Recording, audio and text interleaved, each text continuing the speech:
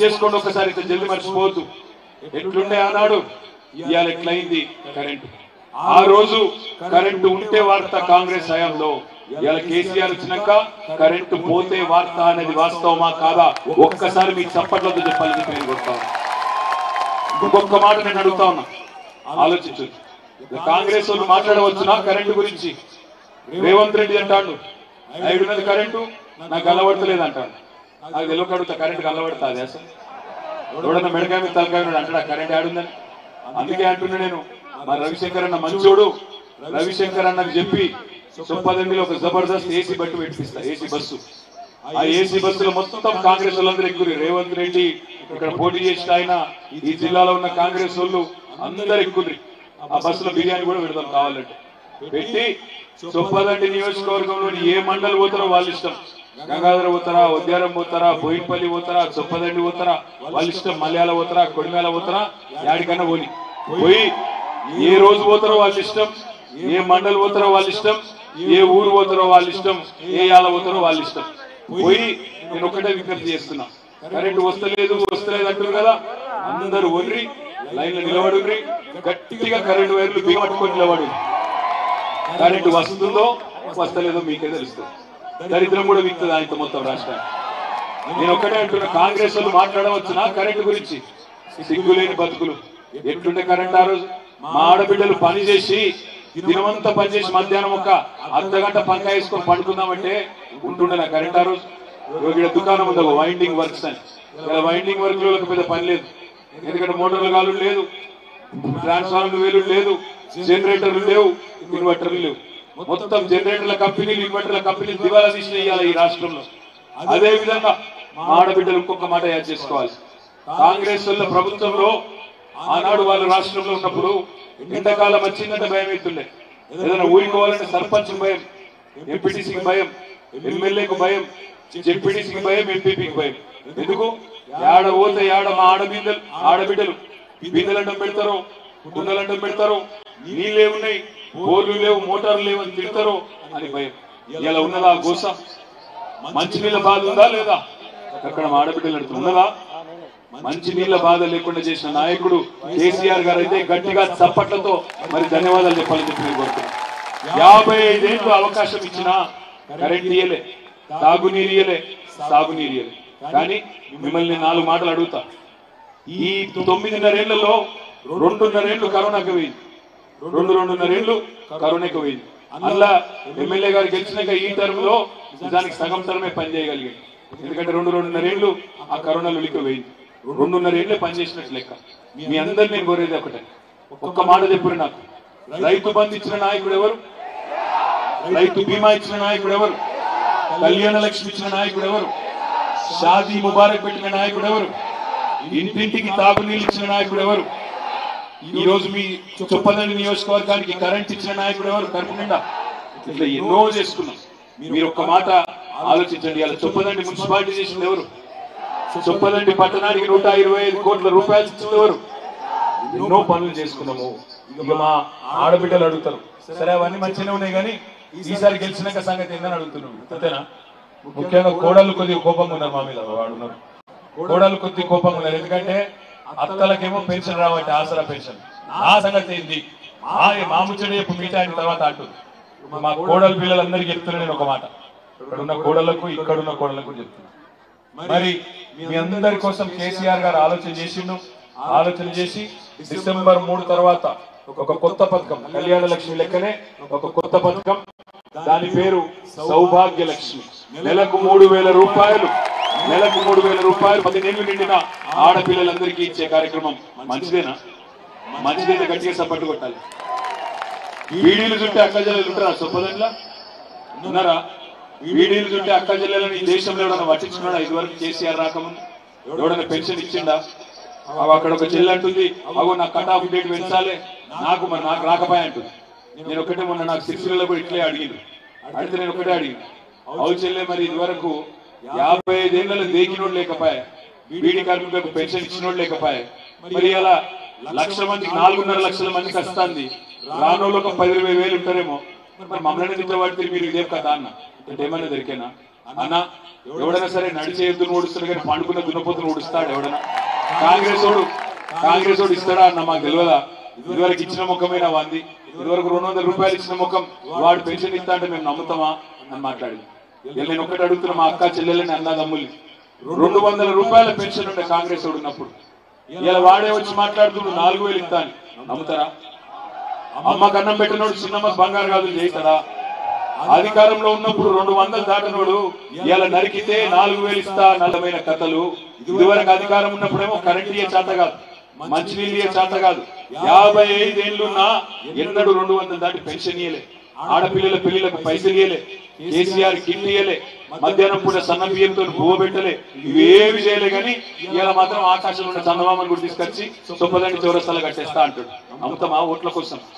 నమ్మి మోసపోదామా ఒక్క సౌభాగ్య లక్ష్మి కాదు. ఇక్కడ ఉన్న మా ఆడబిడ్డలు ఇంకొక మాట కూడా నేను విజ్ఞప్తి చేస్తున్నాను ఇవాళ ఇక్కడ బీజేపీ వాళ్ళు కూడా పోటీ చేస్తాను బుడిగే శోభనేనా?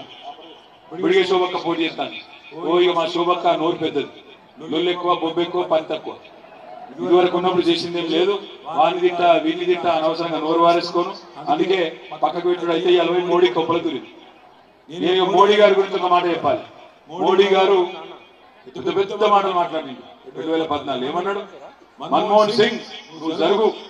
సిలిండర్ ధర కొండెక్కితే ఏం చేస్తున్నావు? జరిగిపో పక్కకు. నాకు మా ఆడబిడ్డలందరూ సిలిండర్ నమస్కారం పెట్టుండ్రి దండం పెట్టుండ్రి నాకు గుద్దుండ్రి అన్నాడు. గుద్దినాం. ఏమైంది? తర్వాత మనం వంగబెట్టి దెబ్బ దెబ్బ కుదిరి నాలుగు వందల సిలిండర్ ఎంత అయింది అలా నాలుగు వందల సిలిండర్ ఎంత అయిందమ్మా పన్నెండు వందలు అయిందా? అందుకే కేసీఆర్ గారు అంటున్నారు ఏ ఎనిమిది వందల రూపాయలతో మోడీ పెంచిండో ఆ ఎనిమిది వందలు నేను భరిస్తా మా ఆడబిడ్డలకు నాలుగు వందల రూపాయలకి సిలిండర్ ఇస్తా డిసెంబర్ తర్వాత అంటుంది మంచిదేనా ఇది? ఇంకొక రెండు స్కీములు కొత్తవి వస్తున్నాయి. మంచి స్కీములు. ఇలా తెలంగాణ భారతదేశం మొత్తంలోనే బ్రహ్మాండంగా వరి పండించుట్ల బియ్యం పండించుట్ల నంబర్ వన్ రాష్ట్రమైంది మీ కష్టంతో. రైతు బంధించుడుతోని ఇరవై నాలుగు గంటల కరెంట్ ఇచ్చుడుతోని రైతు బీమా ఇచ్చుడుతోని కాళేశ్వరం నీళ్ళు రావడంతో మొత్తం భారతదేశంలోనే వరి పండించే నెంబర్ వన్ రాష్ట్రం పంజాబ్ హర్యానా దాటి తెలంగాణ అయింది. అందుకే కేసీఆర్ గారు ఒక ఆలోచన చేసింది. దేశానికే గుమ్మ పెడుతుంది నా తెలంగాణ. నా తెలంగాణ రైతన్న దేశానికి గువ్వ పెట్టే స్థాయికి వచ్చిండు అందుకే మనోళ్ళకు ఎవరెవరికైతే తెల్ల రేషన్ కార్డులు ఉన్నాయో తెల్ల రేషన్ కార్డు ఉన్నాయో సార్ శైలావటు రానోళ్ళు ఎవరైనా ఉంటే వాళ్ళకు కూడా జనవరి నెలలో కొత్త కార్డులు ఇస్తాం. రంది పెట్టుకోకండి. కొత్త కొత్త కరెంట్లు కొత్త పెన్షన్లు జనవరి నెలలో ఇస్తాం. ఎవ్వరు రంది పెట్టుకోకండి తొంభై మూడు లక్షల తెల్ల కార్డులు ఉన్నాయి తెలంగాణలో. రానోళ్ళు ఉంటే గింటే ఒక లక్ష ఉంటారు రెండు లక్షలు ఉంటారు. వాళ్ళకు కూడా ఇస్తాం తొంభై మూడు లక్షల మందికి ఇచ్చి ఒక లక్ష మంది మీద పగబట్టే పిచ్చోళ్ళం కాదు. తప్పకుండా మీకు అవి కూడా ఇస్తాం రంది పెట్టుకోకుండా. ప్రతి తెల్ల కార్డు ఉంటే ప్రతి కుటుంబానికి ఇలా దొడ్డు బియ్యం వస్తుంది. కానీ కేసీఆర్ గారు మంచి నిర్ణయం తీసుకున్నారు. ఆ దొడ్డు బియ్యం బదులు సన్న బియ్యం అన్నపూర్ణ అనే కార్యక్రమం కింద ప్రతి కుటుంబానికి సన్న బియ్యం ఇవ్వబోతా ఉన్నాము. అదే విధంగా మన కేసీఆర్ గారు ఖమ్మానికి పోయినప్పుడు అక్కడ ఒక ఆడబిడ్డ అడిగింది అన్న మరి రైతు బంధు ఇస్తున్నావు మంచిదే రైతు బీమా ఇస్తున్నావు మంచిదే కానీ అన్ని భూముల్లోనికే ఇస్తున్నావు మరి నాకు భూమి లేదు నా సంగతి ఏంది అని అడిగింది. అందుకే సార్ ఒక కొత్త ఆలోచన చేసిండు మంచి ఆలోచన పేదల కోసం. తెల్ల కార్డు ఉంటే చాలు. మీకు పొలం జాగా ఉన్నా లేకపోయినా రైతైనా రైతు కూలైనా కౌలు రైతైనా మరి బ్రహ్మాండంగా తెల్ల రేషన్ కార్డు ఉంటే ఐదు లక్షల జీవిత బీమా కేసీఆర్ బీమా ప్రతి ఇంటికి బీమా అనే కొత్త కార్యక్రమాన్ని రైతు బీమా లెక్కనే ఏ కారణం చేత ఆ కుటుంబ పెద్ద చచ్చిపోయినా వారం రోజుల లోపల ఎల్ఐసి ద్వారా మీ దగ్గరకు ఒక చెక్ వస్తది. కుటుంబానికి ధైర్యం ఉంటుంది. మంచి కార్యక్రమం అనేది కుటుంబానికి ధైర్యం ఇచ్చే కార్యక్రమం. మనమేమో ఇట్లా మంచి పనులు చేసుకుంటూ ముందుకు పోతున్నాం సాగునీరు తాగునీరు ఎమ్మెల్యే సాబ్ ఏమంటుండు? నా సాగునీరు అయింది తాగునీరు అయింది మా కాడికి పరిశ్రమ రావాలి. ఇంకో కొన్ని పైసలు కావాలి. మా మున్సిపాలిటీ మంచిగా చేసుకోవాలి. చొప్పదండిలో గల్లి గల్లీలో సీసీ రోడ్లు మోరీలు వేయాలి సిరిసిల్ల కంటే మంచిగా చేయాలంటుండు. మరి చొప్పదండిలో నేను ఒకటే అడుగుతున్నా. మీరు ఒక ప్రశ్నకు సమాధానం చెప్పాలి. మీ దగ్గర చొప్పదండ్ల గాడిదలకు గడ్డేసి ఆవులకు పాలు పెడితే పాలు వస్తాయా? గాడిదలకు మేతేసి ఆవులకు పాలు పెడితే పాలు వస్తాయా? సౌండ్ ఎందుకు వస్తలేదు? వేరే వేరే ఉన్నది ఏం కదా వేరే నడుస్తుందా? పక్కన ముళ్ళ చెట్టుకు నీళ్ళు పోసి పండ్లు కావాలంటే పండ్లు వస్తాయా? పక్కన ముళ్ళ చెట్టుకు నీళ్ళు పోసి పండ్లు కావాలంటే వస్తాయా? మరి కాంగ్రెస్ వాళ్ళు కొట్టేసి పండ్లు కావాలంటే అయితాయా? కావు కదా? వాటిని చచ్చిపోతా చచ్చిపోతా అంటున్నాడు మరి ఏం చేద్దాం? మనం చచ్చిపోతాం ఆ పార్టీ కోటైతే తయారు పెట్టుకొని. మళ్ళా మూడు గంటల కరెంటు మళ్ళా మూడు గంటల కరెంటు మళ్ళా రాత్రి బాయికాడ పోయి వండుడు. కుల్లా చెప్తుండు రేవంత్ రెడ్డి. ఏమంటుండు? తెలంగాణలో ఉన్నదంతా బీద బిక్కి రైతులు చిన్నోళ్ళు. వీళ్ళ ముఖాలకు ఇరవై నాలుగు గంటల కరెంట్ ఎందుకు? ఎవ్వలకు మూడు ఎకరాల కంటే ఎక్కువ లేదు. ఒక దశ హెచ్పి మోటార్ పెట్టి గుంజుడు గుంజితే మూడు గంటలు చాలంటుండు పార్కానికి. ఇక్కడ దశలక్ష్మి మోటార్ ఉన్న వాళ్ళందరూ శైలి అవ్వట్లేదు ఒక్క దగ్గర ఉందా దశలక్ష్మి మోటార్? ఒక తెలివి మంత్రులు ఉన్నారు. మరి వాడు చస్తా అంటే మనం చద్దామా? వారికి ఆయన ఓటేసి నేను చచ్చిపోతా చచ్చిపోతా అంటే ఓటేస్తారా సిప్పటికి పడిపోతారా? సానుభూతికి పడిపోతారా? పడిపోకులు ఏడుస్తారు తుడుస్తారు అక్క అంటారు చెల్లి అంటారు ఆగం కాకురి. ఇలా రేవంత్ రెడ్డి ఇంకొక మాట చెప్పిండు గొప్ప మాట. రైతు బంధట దబ్బన రైతుకి ఇస్తే కౌలు రైతు చేయరట కౌలు రైతుకి ఇస్తే రైతు చేయరట మరి కష్టంలో కోట్లేద్దామా? రైతు కౌలు రైతు కాదు. మొత్తం ఎత్తగొట్టే చక్కెరలో ఉన్నారు వాళ్ళు. ఉత్తమ్ కుమార్ రెడ్డి చెప్తాడు. రైతు బంధు దుబారా ఖర్చు. కేసీఆర్ వేస్ట్ చేస్తాడు అంటాడు. మీరు ఆలోచించుకోండి. డెబ్బై మూడు వేల కోట్ల రూపాయలు. ఒకటి కాదు రెండు కాదు. డెబ్బై మూడు వేల కోట్ల రూపాయలు డెబ్బై లక్షల రైతుల ఖాతాల్లో వేసిన కేసీఆర్ను నమ్ముదామా? యాభై ఐదేళ్ళు జిందగీలో ఒక్క రూపాయి అని కాంగ్రెస్ నమ్ముదామా? రైతులు ఆలోచించుకోవాలి. నేను ఇంకొక మాట కూడా అడుగుతున్నా ఇక్కడికి వచ్చిన మా రైతన్నలు కాంగ్రెస్ ఉన్నప్పుడు కరెంట్ ఎట్లుండదో మీకు ఎరికే.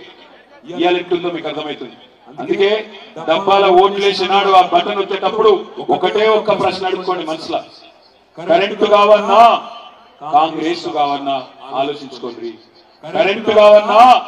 కాంగ్రెస్ కావన్నా? ఆలోచించుకోండి. ఎందుకంటే కరెంటు కావాలంటే కాంగ్రెస్ ఉండదు. కాంగ్రెస్ ఉంటే కరెంట్ ఉండదు. ఇవాళ పక్క. అందులో ఏం అనుమానం లేదు? పక్క కర్ణాటక చూడు. మొన్ననే కాంగ్రెస్లో కొట్టేసిన వాళ్ళు. ఇలా చెప్పలు కొట్టుకుంటారు చెప్పలు వాయించుకుంటారు వాళ్ళది వాళ్ళు. ఎంత పని చేసిందిరా ఎంత తప్పు చేసిందిరా అని కర్ణాటక రైతులు వచ్చి హైదరాబాద్లో ధర్నా ఎత్తురు మేమే బుద్ధి తక్కువ పని చేసినాం మీరు ఆ పని చేయకుండ్రి. ఇలా కర్ణాటక ఉప ముఖ్యమంత్రి వచ్చి హైదరాబాద్లో ప్రెస్ మీట్ పెట్టి బహిరంగంగా చెప్తాను ఐదు గంటలు చాలు ఇరవై నాలుగు గంటలు బేకార్ అంటుండు. మరి తొప్పదండ్రులు మీకు ఏం కావాలి? ఐదు గంటల కరెంటు మూడు గంటల కరెంటు కావన్నా?